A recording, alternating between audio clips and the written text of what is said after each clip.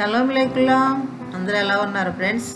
మీ అందరికీ తోదరబ్బా. ఈరోజు వీడియోలో మటన్ బిర్యానీ చేసుకుందామండి మటన్ బిర్యానీ చేసుకోవడానికి చాలా కష్టపడతాం కదా.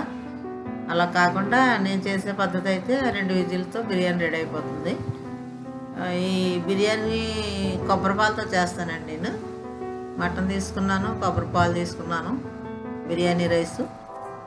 మనం సింపుల్గా పిల్లలు ఎప్పుడు కావాలంటే అప్పుడు మనం ఇప్పుడు తినాలన్నా సండేలు అప్పుడు అర్జెంట్లో కూడా బిర్యానీ ఈజీగా ఎలా తయారు చేసుకోవాలో నేను సింపుల్ వేలో చూపిస్తాను.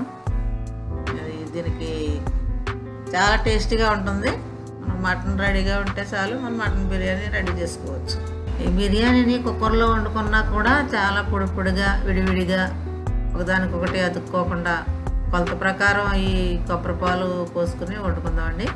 కొబ్బరి పాలతో చేసుకోవచ్చు లేదంటే మామూలు వాటర్ కూడా పోసి చేసుకోవచ్చు. నేను రెండే రెండు చిన్న గ్లాసులు బియ్యం చేశాను అనమాట దగ్గర తగినన్ని కొబ్బరి పాలు తీసుకున్నాను. కుక్కర్లో మనం చాలా ఈజీగా చేసేసుకోవచ్చండి. ఈ రెండు విజిల్కి రెడీ అయిపోతుంది అనమాట అసలు ఎక్కడ తడి ఏముండదు పొడి పొడిగా వస్తుంది అనమాట బిర్యానీ అంటే చాలా కష్టపడిపోతాం కదా. అందుకో కొంచెం ఎవరన్నా వచ్చినప్పుడు చేయడానికి చాలా ఇబ్బందిగా ఉంటుంది. ఎక్కువ పని ఉంటుంది బిర్యానీ అంటేనని. అందరూ ఇష్టంగానే తింటాం కానీ పని కూడా ఎక్కువ ఉంటే ఇష్టపడం కదా. దీన్ని చాలా సింపుల్గా చేసుకుందాం. చూసేయండి. దీనికి కావాల్సిన పదార్థాలు ఎలా తయారు చేస్తానో మీరు కూడా చూసి తయారు చేసుకోండి. కావాల్సిన పదార్థాలు వచ్చి రైస్ అండి. బిర్యానీ రైస్. కొంచెం పాత తీసుకుంటే బాగుంటుంది. రెండు కప్పులు తీసుకున్నాను నేను. టీ టీ గ్లాసునే రెండు గ్లాసులు. కడిగి నానబెట్టుకోండి ఒక గంట. అలాగే కావాల్సిన పదార్థాలు చూపించినవన్నీ రెడీ చేసి పెట్టుకోవాలన్నమాట.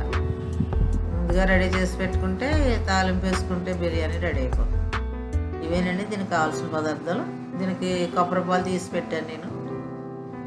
మూడు కప్పులు కొబ్బరి పాలు అయితే సరిపోతాయి. మటన్ పావు కిలో. అన్నీ రెడీ చేసి ఉంచుకోవాలన్నమాట.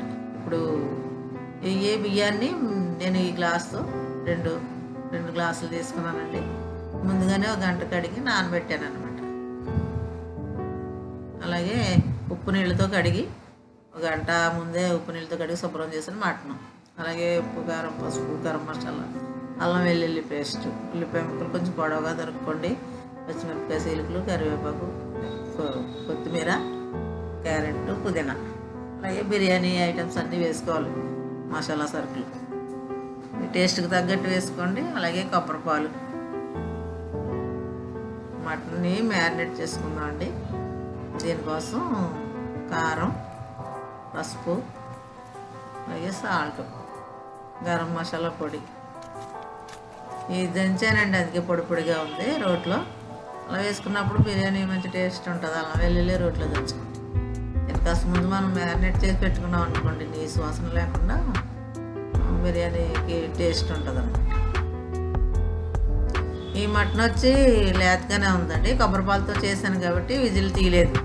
మీకు కావాలంటే ముందు బిర్యానీ వండుకునే ముందు మటన్ని ఉడికించి పెట్టుకోండి. ఒక ఐదారు విజిల్ తీసి అలా పెట్టుకుని కూడా చేసుకోవచ్చు. ఒకవేళ ముదురు మటన్ దొరికితే. అలాగే కుక్కర్ పెట్టానండి. అందులో మసాలా సరుకులన్నీ వేసాను. ఆ, ఉల్లిపాయ పచ్చిమిరపకాయ క్యారెట్ ముక్కలు. ఇవన్నీ మనం తాలింపు చేసుకోవాలి. అలాగే పుదీనా. తాలింపులో కూడా పుదీనా వేసుకోండి. అలాగే మిగిలిన అల్లం వెల్లుల్లి కూడా ఇప్పుడే వేసుకొని కొంచెం ఫ్రై చేయండి ఇవన్నీ. బాగా పేస్ట్ అవ్వక్కర్లేదు కానీ కొంచెం మగ్గితే సరిపోతాయి. తర్వాత మ్యారినేట్ చేసుకున్న ఈ మటన్ ఉంది కదా ఇది కూడా వేసుకుని దీన్ని చిన్న మంట మీద మూత పెట్టి మగ్గించుకోవాలి.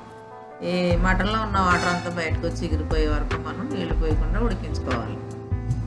చూడండి ఎగిరిపోయాయి కదా వాటర్ అంతా వచ్చి. అలా ఎగిరిపోయిన తర్వాత మనం కొబ్బరి పాలు రెడీ చేసి పెట్టుకున్నాం కదా. రెండు కాఫీ గ్లాసులు బియ్యం తీసుకున్నామేమో. ఏ బియ్యం ఏ గ్లాస్తో తీసుకున్నామో అదే గ్లాస్తో పాలైనా నీళ్ళైనా పోసుకోవాలన్నమాట. అప్పుడు కరెక్ట్గా వస్తుంది మనకి వేస్ట్ అయిపోకుండా. దీనికి మామూలు రైస్కి అయితే ఒకటికి రెండు వేస్తాం కదా ఇప్పుడు బిర్యానీ రైస్ కాబట్టి. అందులోనూ కుక్కర్లో వండుతున్నాం కాబట్టి మూడే మూడు కప్పులు.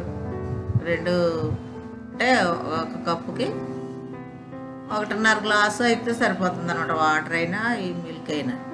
అలాగే నేను మూడు కప్పులు వాటర్ వేసాను అనమాట ఆ లెక్క అయితేనే పొడి పొడిగా వస్తుంది. ఒకటికి రెండు పోసారంటే పేస్ట్ అయిపోద్ది అనమాట అలాగే విజిల్ కూడా రెండంటే రెండే తీయాలి ఈ స్టీల్ కుక్కర్ చాలా వేడి ఉంటుందేమో మూడోది అయితే అడుగు మాడిపోతుంది. అలాగే పాలు పోసిన తర్వాత ఉప్పు ఒకసారి చెక్ చేసుకుని పుదీనా కొత్తిమీర కూడా ఇప్పుడే వేసుకోండి.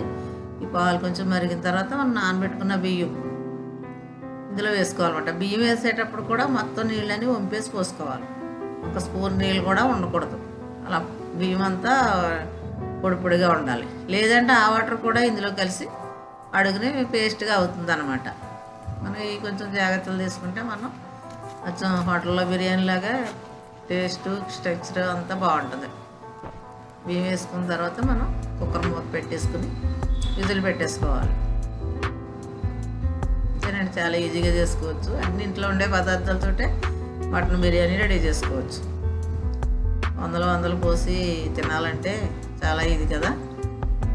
మనం ఒక పావు కిలో తెచ్చుకుంటే ఇంట్లో అందరం బిర్యానీ తినొచ్చు. ట్రై చేయండి మీరు కూడా. చూడండి రెండే రెండు విజిల్లు వస్తాయి. ఒకటి వచ్చింది.